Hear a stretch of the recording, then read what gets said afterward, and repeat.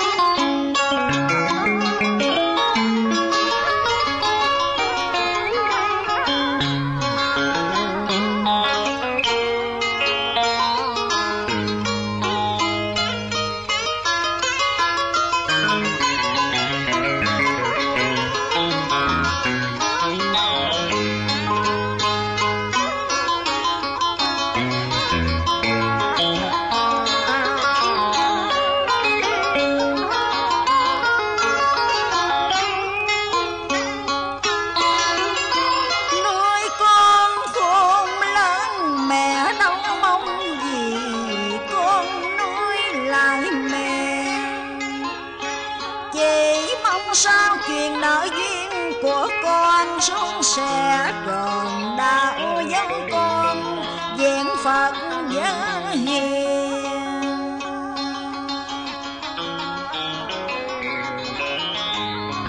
Bấy nhiêu thôi là mẹ đồ vui mừng. Từ trước đến nay, người ta thường nói nhật nam giết hữu còn thập nữ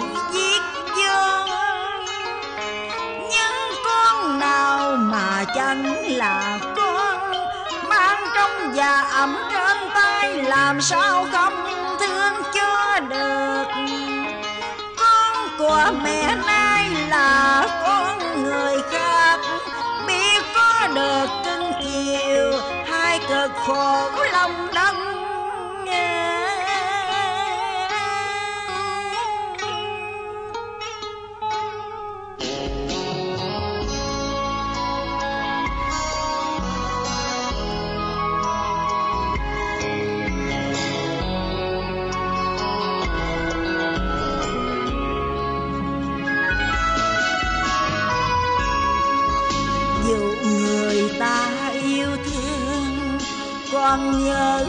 xem là thường xuất gia rồi tổng phu con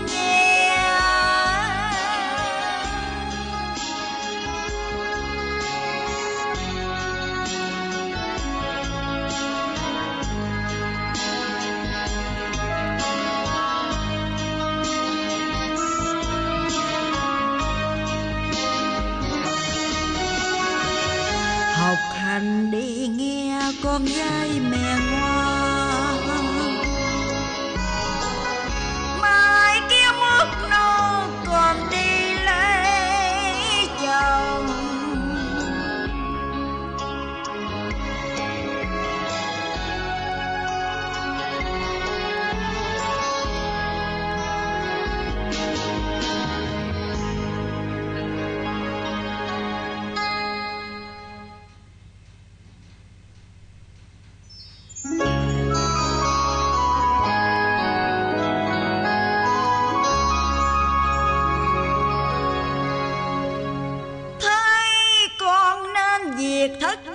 lòng già cũng nghe mừng vui đôi chút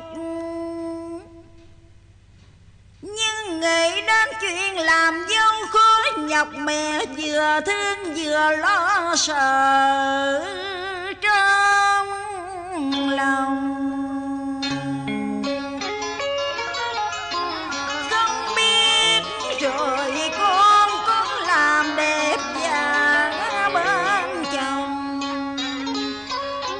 Đã làm dấu nửa đời nên mẹ biết. Cay đắng trong bề nước mắt chan cơm nếu mẹ chồng con có quá khắc khe thì con hai vì thương chồng mà hết lòng chiều chiều